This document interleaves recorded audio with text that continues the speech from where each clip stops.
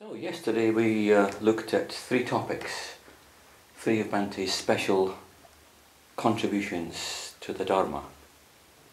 Not that they are completely unique, they're there embedded, embedded in uh, the Buddha's own teachings, but he takes those themes and he explores them and unfolds them. So yes, the theme of going for refuge and the theme of conditionality especially the spiral path that we looked at yesterday being his special emphasis, his special contribution, and then third, uh, the higher evolution, which wasn't there as such in the Buddha's own time, but there was something akin to it in terms of him thinking and, uh, and seeing change in beings, and beings growing according to their own nature.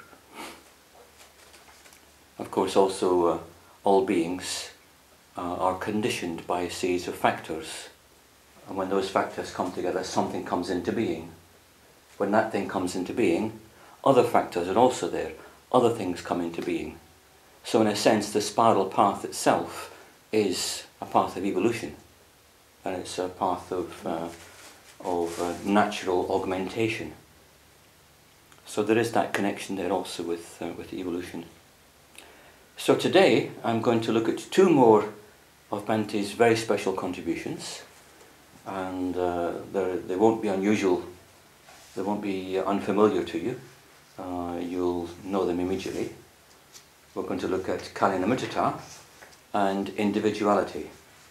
And I've kept these two together as a pair because I'm thinking in a sense that if somebody is an individual, they can be a spiritual friend.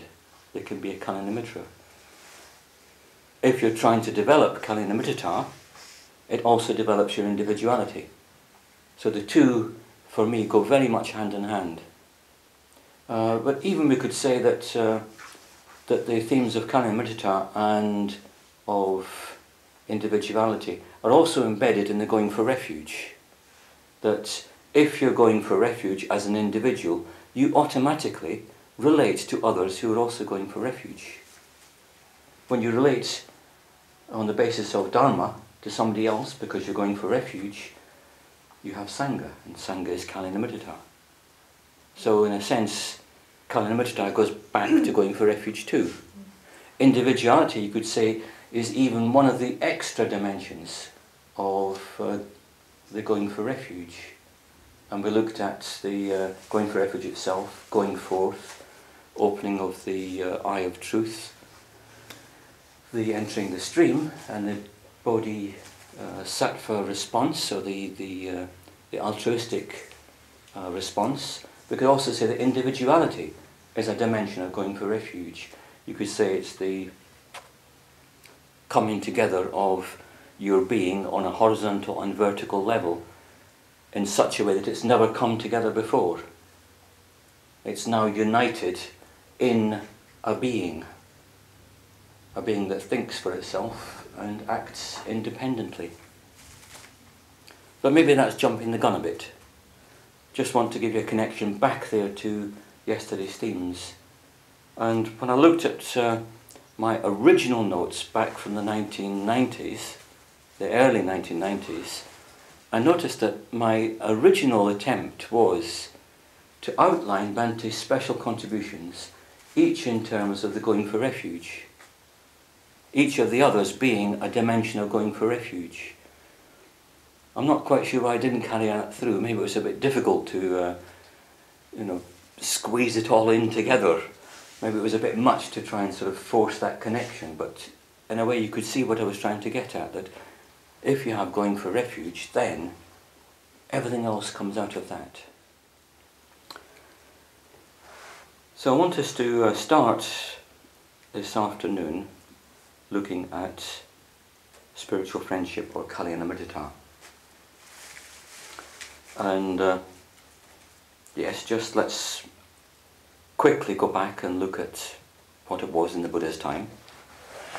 Of course, we have this famous phrase that we keep on falling back on, that uh, the whole of the spiritual life is Kalyanamittata.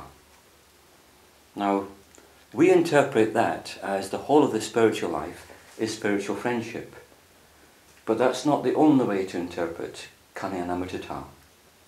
It's perhaps, uh, it's perhaps I think, uh, the, the simplest translation and the simplest meaning to take from it, but others seem to take the meaning of association with what is lovely. So association with lovely states of mind, with lovely situations, with lovely people, etc. Kalyana being the lovely. And Mitrata here being association with. But in terms of Indian languages, usually Mitrata is it's always spoken of in terms of, primarily in terms of friendship. You call somebody a friend, you call them a mitra. In, in most of the uh, most of the Indian languages, that's the word that, that's used. So, in a sense, we're taking the primary meaning. Many other groups who appreciate that, that saying of, uh, of the Buddha, they sometimes take it the other way around, that it's association with what is lovely. In other words, cultivate what is spiritual, cultivate what is beautiful within yourself and within your situation.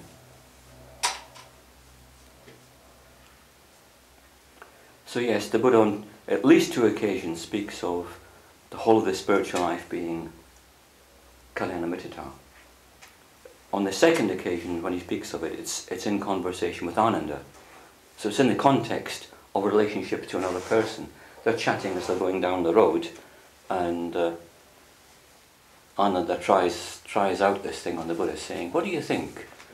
The half of the spiritual life is Kalyanamittata. And the Buddha says, don't say that, Ananda, don't say that. It's not the half, it's the whole of it. So everything is encapsulated within spiritual friendship. And Bhante, when he was thinking about this, got to thinking as well about, well, well what is Sangha? It came about from, from a slightly sort of, it was a dinner time conversation that we had, and uh, it came about because of something that uh, a monk had said, we know that uh, there are uh, groups in this country where there are monks ordained and living in, uh, in monasteries and so on. One of the leading monks, the leading monk at the time said, there's only one person in this country who's managed to establish a Sangha, and that's Sangharakshita. Of course, that means that that monk was also thinking that us with our little old not with great voluminous yellow robes, as dhammacharis, that we are a sangha. So he's recognizing that. That's good to know. But then Bhante thought, well, well, why is that? How, how come that he says that I'm the only one that's managed to do it? He himself at that time hadn't managed to establish a really vibrant sangha. Later on it began to, began to come, but it took a long time. But back in those days, it was just, according to this senior monk, just Bhante had managed to do it. So Bhante thought, hmm, well, what is Sangha? And he thought Sangha is when two people come together and relate to each other on the basis of they're going for refuge. So if they're relating to each other on the basis of going for refuge, you have Sangha. He says you have Kalyanamittata. That's what Kalyanamittata is. It is Sangha. So, in a, in a sense, this goes right back to, to early Buddhism. This goes right back to the, the Buddha himself, that himself walking down the road with Ananda, talking Dharma. Talking Dharma, talking truth, talking meaning, exploring meaning. And if you think in those terms, then all the the Buddha's own admonitions. Don't waste your time in gossip, don't waste your time in frivolous speech, don't waste your time in this sort of activity and that sort of activity. Meet together, talk Dharma. So that, in a sense, puts that in, in context. He also talks uh, very frequently about association with the wise. But uh, again, don't waste your time with people who are not serious, who are spiritually immature associate with those who are the wise. There are also many suttas in which uh, the, uh, relationship between Buddha and Ananda is explored, the Buddha and Meghiya is explored, and sometimes the Buddha and one or other person that he meets. Maybe he sort of goes into, you know, some piece of shelter and, and he meets another person just there. We don't hear of Ananda being there, we don't hear of Meghiya being there. We know there were other attendants, but sometimes it seems he's travelling on his own. And he meets up with other people.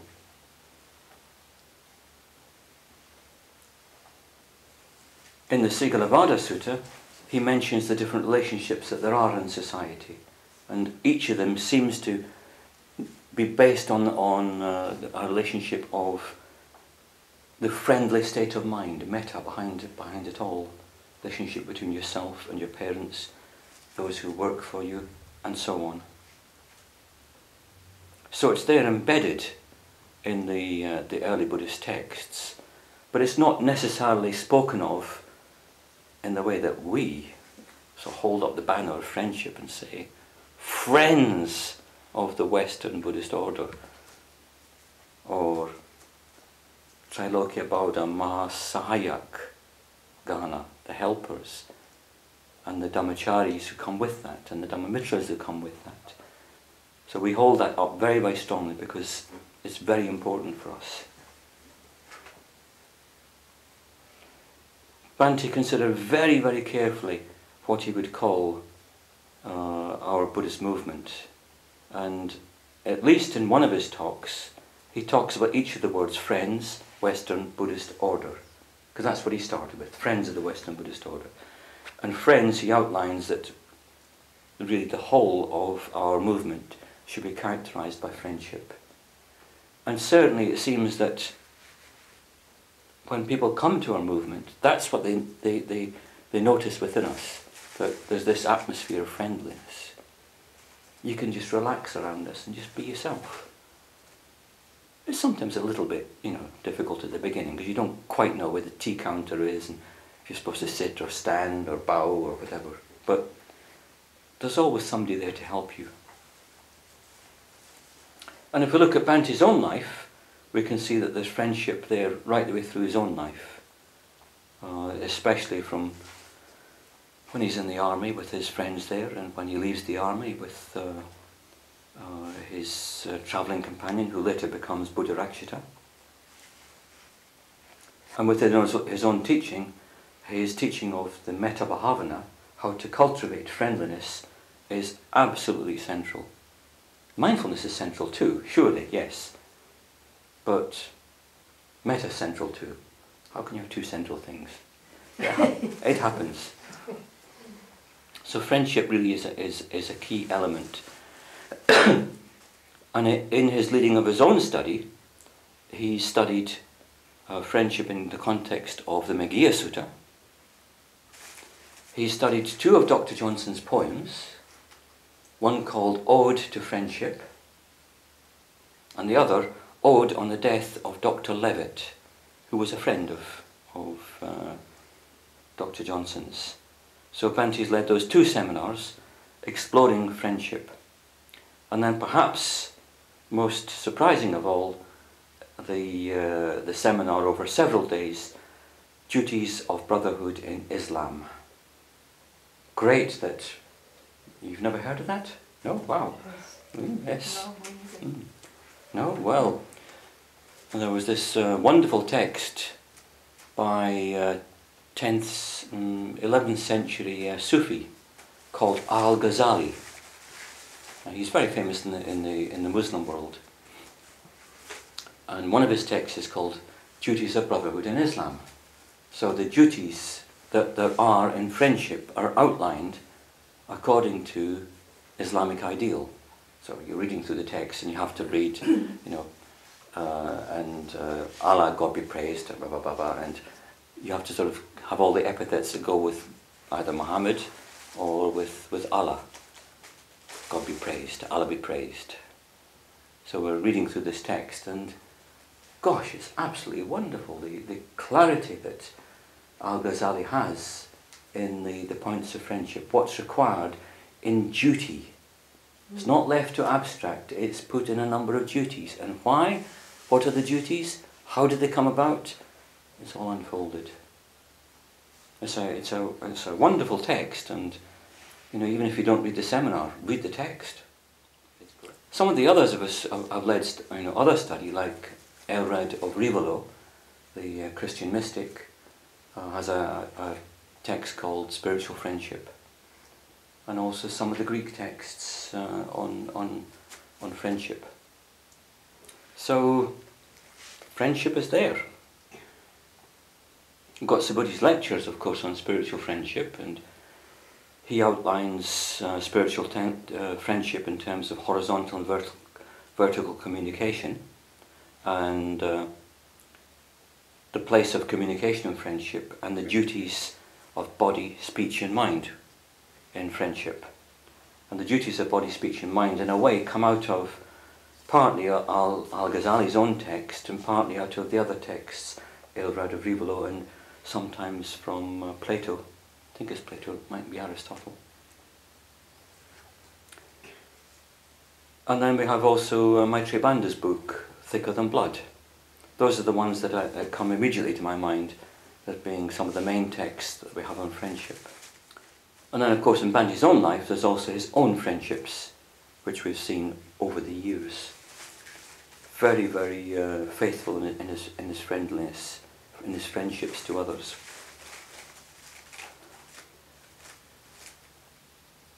So let's look at Dr. Ambedkar's approach. I was going to mention first of all that uh, in his own life, it's difficult to see the friendship working. Because rather like Bhante, there's the difficulty of unequal friendship. Dr. Ambedkar was such an outstanding man, standing head and shoulders above everybody else, even from a very young age. Uh, it's difficult for him to have an equal friendship. But you see friendliness in his relationships with all his lieutenants, when he doesn't get exasperated with them because they don't want to do what he wants them to do, convert to Buddhism. But he's still, he's there year after year after year, and you'll read in this book about his different uh, friends that he has, and he, keeps on meeting them in different situations, and they've all got the same project. The liberation of the downtrodden of India. It's their, it's their united project, it's what brings them together. But uh, there were also people who were friendly to him uh, for instance, there were two of them, the great Maharajas, the Maharaja of Baroda and the Maharaja of Kolhapur, especially the Maharaja of Kolhapur. The Maharaja of Baroda was quite a bit older than Dr. Ambedkar, and he was the one who sponsored him to uh, go abroad first of all for education. Uh, but when he came back, of course, he couldn't find a place to stay and work for the Maharaja, as he'd promised and as was expected. Uh, there was nobody that would put him up in Baroda because he was an untouchable. Nobody would put him up. He had to leave on, on I think it was on the first or second day. Oh no, he was maybe there for more than one or two days because he changed his name to a Parsi name. And uh, it was only when uh, the word leaked out that there was this young untouchable working for the Maharaja that the Parsis who were putting up in their hostel realised he was an untouchable. And even though the Parsis weren't Hindu, they'd been imbued with the idea of caste so much that they threw him out. And so that day, Babasaheb left, bought a ticket for, uh, for leaving and went back to Maharashtra. Very, very sad state of affairs. The Maharaja Kolhapur, uh, he speaks uh, very highly of the Maharaja, and the Maharaja speaks very highly of, of Babasaheb. And in a way, the Maharaja of Kolhapur was one of the sort of, you could say, one of the enlightened princes that uh, he wanted really to be a sort of philanthropist, and he sponsored these people, this organization, that project, and so on, especially for the uplift of the poor. Uh, so yes, the, the ideals that the Maharaja had and that Babasaheb had were, were very close. And the Maharaja, of course, also uh, sponsored Babasaheb for different things too by giving him money. But one of the things that strikes me most, in a way, is not just his friendliness to all his different, you know, workers and co-workers that he, he's with, but the quality of faithfulness or fidelity that he has to his people.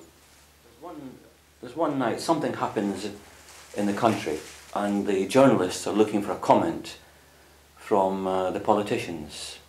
And so they go to the Prime Minister, they go to this minister, they go to that minister. All the ministers have gone to bed. It's so late at night. One of them comes to uh, Dr. Ambedkar's house and they see a light on. And they're quite surprised because it's, you know, by this time two or three in the morning. And they go in and there's Dr. Ambedkar working. And they ask him for his comments on the, uh, on the situation. He gives his comments. And then they say, how is it? How is it that you know we've gone to all the other politicians and they're all sound asleep, and here you are, you're still working this time of night? And of course, as quick as anything, and I'm sure it wasn't just a, a, a, an opportune moment, he says, if I don't stay awake and look after my people, who will look after my people for me? He's there looking after his people, his fidelity to the project of raising up the downtrodden of India. He's had it since, since boyhood. He's working politically, he's worked his whole life battling against, you know, the Hindus here, battling against Gandhi there, battling against the government here.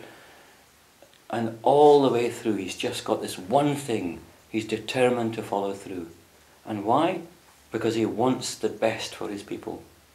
That quality of, of faithfulness, of fidelity to his ideals, is the sort of fidelity that's required in friendship. And that had he been able to have uh, somebody else of his own stature, I'm quite sure he would have he would have had a, a very strong friendship with that sort of person. Another thing that uh, I can mention here is his, his treating people equally. He doesn't believe that everybody is equal. At least, not equal in all respects in all departments. Some are more developed here than there. Others are developed more there than here. Some are a bit wiser, some are not so wise. Some are a bit more friendly, some are less friendly. Some are a bit more tetchy, some are less tetchy. But he treats everybody equally. we had a, a Dhammachari, an old Dhammachari, one of the, the very early ones ordained in India called Silendra Bodhi. He used to work, uh, he was a, a soldier in the British Army, well in the Indian Army in, in India, which was British, the British Army. There were two parts of the army, the British soldiers and the Indian soldiers. He was one of the Indian soldiers. But when he was a young boy, uh, he was very, very poor, being from the untouchable community. And uh, he wanted an education. And he had no money. His parents and relatives didn't have any money to, to educate him. So he didn't know what to do and he was asking around what, what could he do. And somebody said, why don't you go and ask Dr. Ambedkar? And they told him where Ambedkar's house was in Bombay. And he went to Bombay found the house, and uh, Silendra Bodhi, he, he, described the whole thing, what happened. It was quite late at night by the time he got there, because uh, it had taken him so long to find the place. And uh, he sort of just went up and he, and he stood at the outer door, and uh, he was too shy to come in. And Dr. Ambedkar was working at his desk, and and he looks up and he sees the boy there and you know he sees that you know the boy's just got a pair of shorts on and no no shoes and just a ragged shirt and that was the condition Silendra Bodhi arrived to see Dr. Ambedkar and Ambedkar calls him in and asks him just well you know where have you come from why have you come here so late at night are you on your own what happened why did you come on your own and uh, Bodhi tells Dr. Ambedkar that you know he's come to see if he could get some help And Dr. Ambedkar says, well, well, what sort of help? And he says, well, and he said he was very, very shy at saying this because to sort of say that you're so poor that you don't have any money, in a way sort of, he felt so ashamed. then he said, um, I want to get educated and I've got no money. So Dr. Ambedkar just took his notepad and he wrote something on it and just said, now go to Siddharth College on such and such a road in Bombay and present that to the, uh, the principal. And his education was taken care of. Mm. Babasaheb just sponsored his education. And uh, for, you know, for Silendra Bodhi, in a way, that was the highlight of his life. Mm. His leader, the leader of his people, just writes a little chit and his education is taken care of. And there was no, you know, there was no sort of, uh, you know, patronizing words or don't be ashamed, don't be shy, nothing like that. Just don't worry. Taken care of. So that's sort of, uh, you know, just, just relating to a young boy as another person, relating just as a human being, to me is, is what's required in friendship.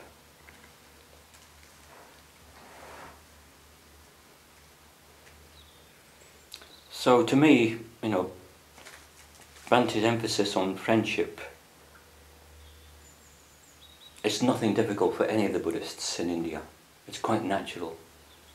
Our Buddhists in India respond to friendship and know what friendship means and know its importance. They still have a society that's uh, not completely fragmented. It's still a traditional society and relationships are everything in India and your friends are, are, are who you count on in times of need. We'll go on to the second of our two topics for today. the individual. What does the Buddha say about the individual? In some ways I've been struggling to, to find the individual and the individual is not a word that's used there is uh, the Sapurisa, the excellent Purisa is sort of like person, the excellent person. Sa being a, a, an emphatic, a sort of uh, an emphatic of praise. Like you get Dhamma and you get Saddhamma.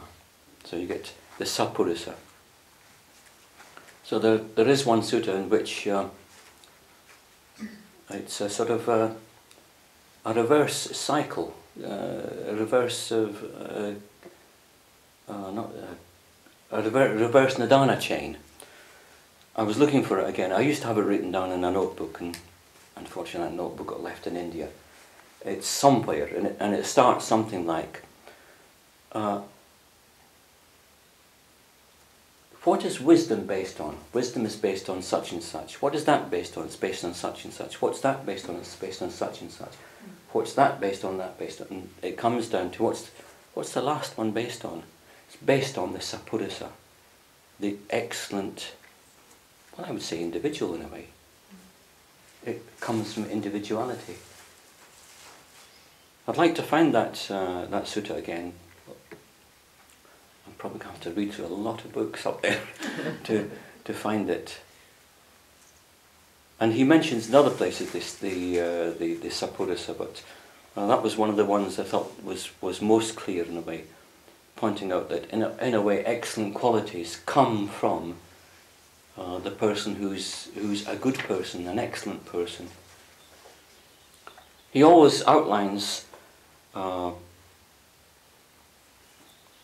what an individual should have. An individual should be wise, should be calm, should be collected, if we go through the uh, the Mangala Sutta, uh, the the the, uh, the, individual should be uh, grateful, should have senses calmed, should be loving, and so on and so on.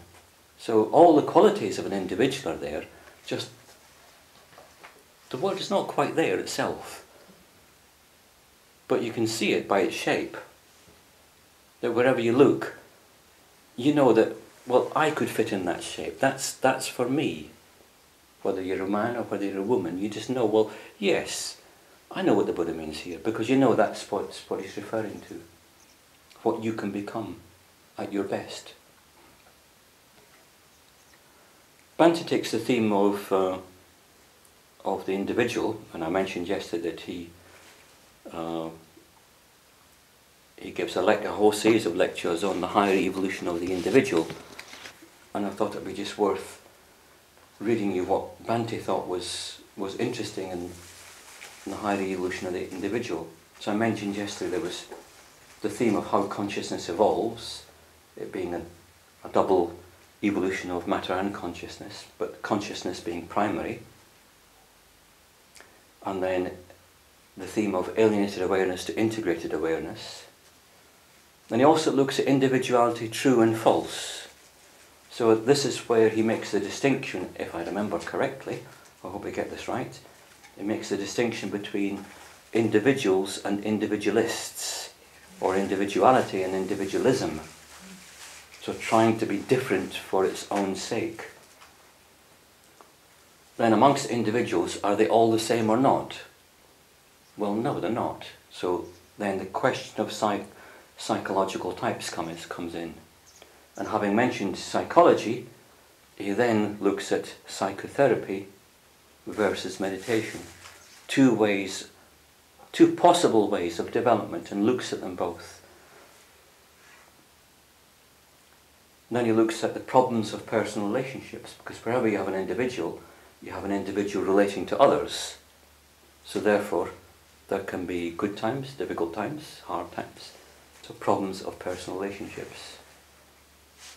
And then the individual and the spiritual community. I probably don't have to say anything about that. And then finally, is a guru necessary? A wonderful, wonderful lecture. So yes, uh, it's uh, something that, that's quite unique uh, to Bhante's own approach that you don't get in other Buddhist groups, and uh, which I think characterises our mm, our not lingo. What's the what's the word I'm looking for here? Culture. Yes, it cul- characterises our culture that we that we you know we value individuality and we talk in terms of individuality. So you know that that's certainly a, a, a very modern way of, of talking, and it's certainly a way of talking that, that others appreciate. Babasaheb uh, does speak of the individual, and I wanted to. Uh, no, it's, it's on here. Yes, I wanted to just start by t- uh, reading something to you that he'd written. society and the individual. Unlike a drop of water, which submerges its existence with the ocean in which it is dropped, man does not lose his identity in the society in which he lives.